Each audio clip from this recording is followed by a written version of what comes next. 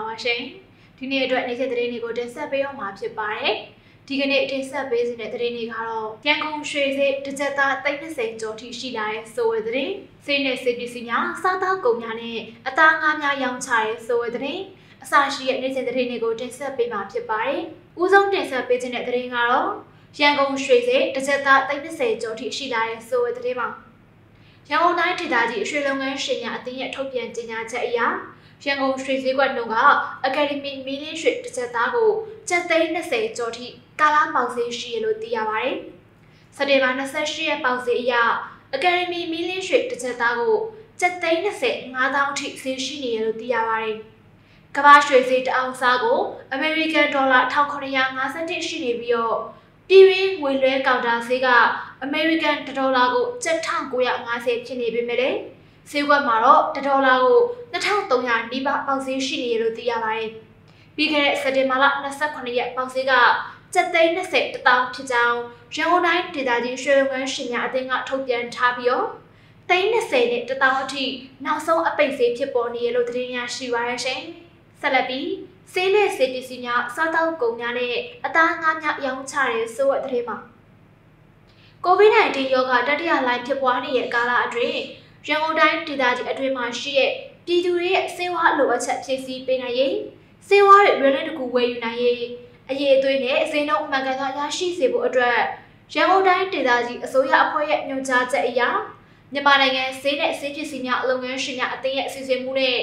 ဒုတိယနေရာအဖြစ်ဗဘဲရဲမြို့နယ်ကုံတယ်လမ်းနဲ့ဘိုးစောပတ်လမ်းတောင်မှာရှိတဲ့မြန်မာအပြည်ပြည်ဆိုင်ရာကုန်သွယ်မှုဗဟိုဌာနအစအုံ၌အိမ်သုံးစေဝါများ လက်လိလက်ကဖြန့်ဖြူးရောင်းချခြင်းအစီအစဉ်ကိုစက်တင်ဘာ29ရက်မှာဆက်လက်ဆောင်ရွက်ခဲ့ရာစိတ်နဲ့စိတ်ပစ္စည်းဖြန့်ဖြူးရောင်းချတဲ့ကုမ္ပဏီ12ခုကအိမ်သုံးစေဝါ144မျိုးကိုရောင်းချပေးခဲ့တယ်လို့သိရပါတယ်။ထို့အတူပထမအစီအစဉ်ဖြစ်ဖွင့်လှစ်ရောင်းချပေးလျက်ရှိတဲ့အလုံးမျိုးတဲ့ကန်နာတဲ့လွတ်လပ်ရေးရက်ကွက်အမတ်100လေး108နေရာ၌လည်း31ရက်မြောက်နေ့အဖြစ်စက်တင်ဘာ29ရက်မှာဆက်လက်ရောင်းချပေးခဲ့ပါတယ်။ဒါအပြင်ရန်ကုန်တိုင်းဒေသကြီးအစိုးရအဖွဲ့ မြန်မာနိုင်ငံစံသမားကုန်သည်ကြီးများအသင်းတို့ရဲ့စီစဉ်မှုနဲ့ရန်ကုန်တိုင်းဒေသကြီးအတွင်းမှာရှိတဲ့မြို့နယ်အချို့မှာလည်းရွေလျားစေကနဲ့ဆန်စီများစားသောက်ကုန်များနဲ့အသားငါးတွေကိုအယောင်ချပေးခဲ့လို့တင်ရရှိပါရှင်။နောက်ထပ်သတင်းတစ်ပုဒ်ကတော့မြန်မာ Citizen Bank မှဘဏ်လုပ်ငန်းဆိုင်ရာဝန်ဆောင်မှုတွေပုံမှန်ပြုလုပ်ပေးလျက်ရှိရဲဆိုတဲ့သတင်းမှာမြန်မာနိုင်ငံတဝန်ယခုသတင်းပတ်အတွင်း2021ခုနှစ်စက်တင်ဘာ29ရက်ကနေ30ရက်အထိ ဖွင့်လှစ်ထားရှိတဲ့ဘဏ်ခွဲတွေနဲ့ဖွင့်လှစ်ချိန်တွေဝန်ဆောင်မှုအမျိုးအစားတွေကို customer တွေသိရှိစေဖို့အတွက်မြန်မာ Citizen Bank ကရင်းရဲ့အလုပ်မှုကိုရမှာဖော်ပြထားပါတယ်။မြန်မာ Citizen Bank ကပြည်သူတွေအတွက်ဘဏ်လုပ်ငန်းဝန်ဆောင်မှုတွေဆောင်ရွက်ပေးနိုင်ဖို့အတွက်ဘဏ်ခွဲအပတ်စဉ်တိုးချက်ဖွင့်လှစ်ပေးလျက်ရှိရာမြန်မာနိုင်ငံတဝက်ယခုသတင်းပတ်အတွင်းဖွင့်လှစ်ထားရှိမဲ့ဘဏ်ခွဲတွေနဲ့ဖွင့်လှစ်ချိန်တွေဝန်ဆောင်မှုအမျိုးအစားတွေကိုနေ့စဉ်အသိပေးလျက်ရှိရလို့သိရပါတယ်။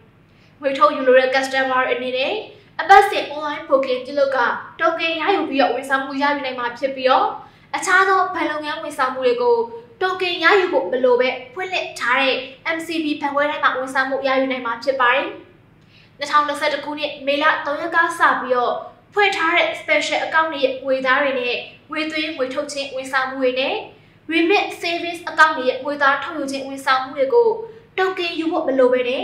MCB ဘဏ်ရဲ့ဖွင့်ရထားတဲ့ပြည်သည့်ဘဏ်ခွဲတွေမစို့ဝန်ဆောင်မှုရယူနိုင်တယ်လို့သတင်းရရှိပါရရှင်။နောက်ထပ်သတင်းတစ်ပုဒ်ကတော့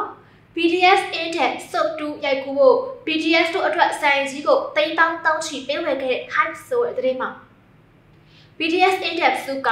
BDS member တွေပါဝါတရုပ်ဖော်ထားတဲ့ JDBC နဲ့ hype တို့ပူးပေါင်းထုတ်လုပ်တဲ့ reality show တစ်ခုဖြစ်ပါတယ်။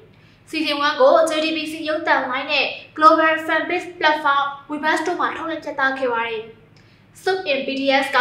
ကမ္ဘာလုံးဆိုင်ရာ K-pop boy group အတွက် Asian နဲ့အားလည်းကိုယူဆောင်လာခဲ့ပြီးတော့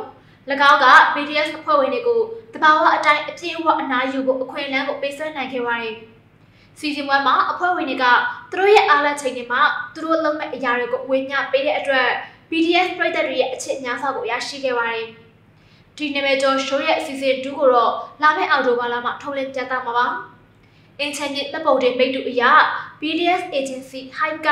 ယခုနှစ်ဇူလိုင်လ2ရက်နေ့မှာရကူးခဲ့တဲ့အစဦးတွေနဲ့အနီတိုးမှာရှိတဲ့မြေကွက်များစွာကိုဝယ်ခဲ့ပါတယ်။ hype က BDS Index Season 2အတွက်စကားတီနီယာကို